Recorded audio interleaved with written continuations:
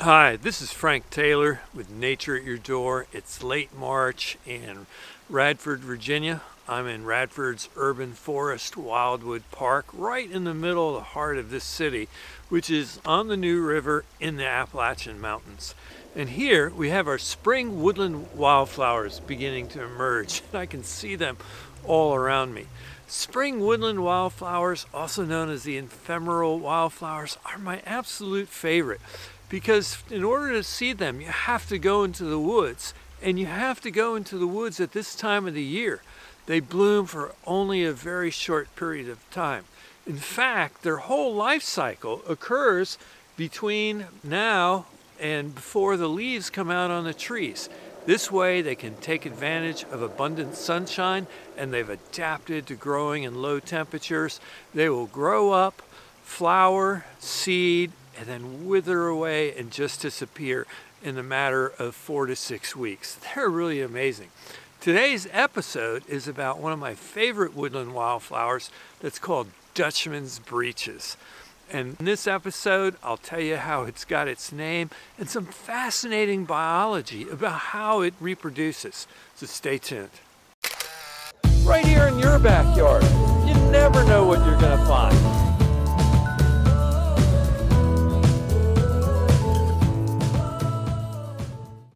Scientific name of Dutchman's breeches is Dicentra cucullaria, and its common name, of course, is Dutchman's breeches. And how did it get its name? Well, look at these flowers. What do they look like?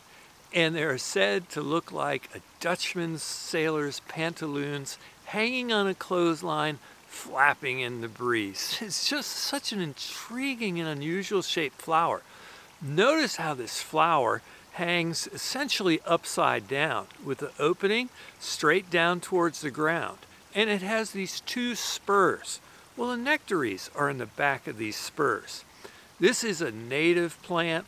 It grows in rich woodland soils where it stays very moist. And in fact, here in Wildwood Park, I can find it on this side of the hill, but on the which is the northern side, but over on the other side here, there's another hill and it's much drier and there's no Dutchman's breeches there at all. So these two spurs on the flower is where the nectar is kept. Function of nectar is to attract bees to move pollen from flower to flower and fertilize it. Well, being a native plant, this was fertilized by native bees that are active at this time of the year. And what are native bees that are active at this time of the year when it's still pretty chilly out on many days? It's the bumblebee. And how does a bumblebee function at these temperatures? Well, it's got that big heavy body which holds in the heat better and it's covered with fur which also holds in the heat. So they're able to be active before any other bees are active and they are the ones that are have evolved to pollinate these flowers. Also, since these two evolved together, the bumblebee's tongue is the only one long enough to reach all the way to the back to where the nectar is. Honeybees can't reach it.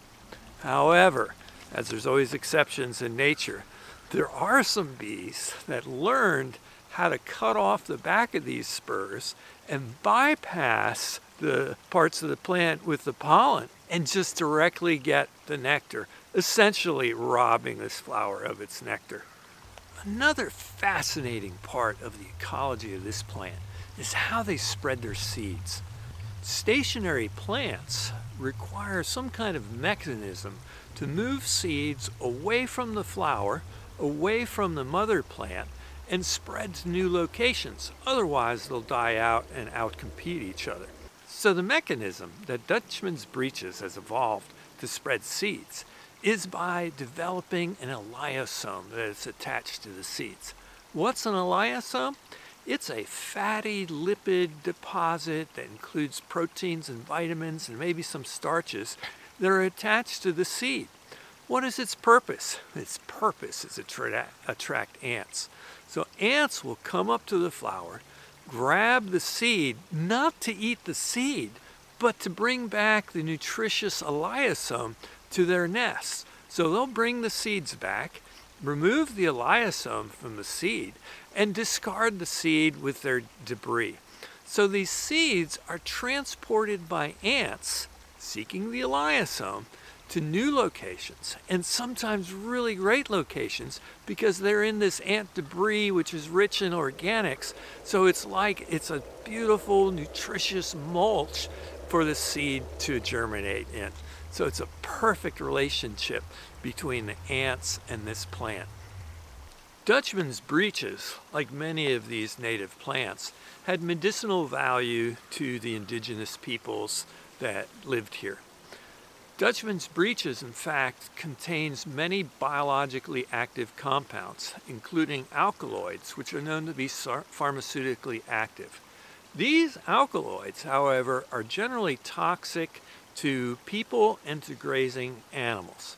These alkaloids tend to work on the brain and the nervous system. So another name for Dutchman's breeches, less commonly used, it's called staggerweed. And it's got its name staggerweed because horses and cows that would eat it would become ill, affecting their nervous system, affecting their ability to walk, and so they would stagger around after eating this. So staggerweed is the other common name of this plant. It has a, a history of medicinal uses in the past, but is generally regarded as being toxic today. Well, I hope you enjoyed watching this episode of Nature at Your Door. I love the spring woodland wildflowers. Check out my channel for the series I have on that and my playlist where I feature a lot of the different spring woodland wildflowers. So get outside and enjoy the day. Go see what you can find, see what spring wildflowers are blooming in the woods near you. If you like my channel, please subscribe. It helps me spread this message and give me a like. And I love answering comments or questions from my viewers. So thanks for watching this episode of Nature at Your Door.